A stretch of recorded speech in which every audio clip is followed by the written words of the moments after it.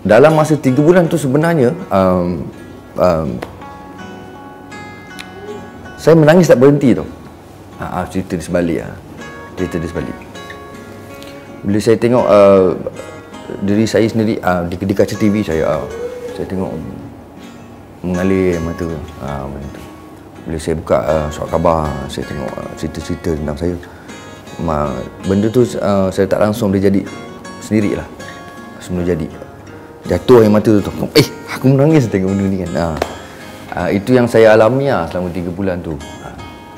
Uh, orang kata nak cari keistimewaan diri tu nanti takkan kita nak cakap pula kan uh, tak kena lah uh, kalau saya sendiri nak cakap keistimewaan sendiri uh, pasal poyo lah bila cakap bila cakap uh, keistimewaan sendiri ni kan um, dan um, saya suka lah budak botak Saya tengok saya tengok tu, ah macam macam tu lah. Ya.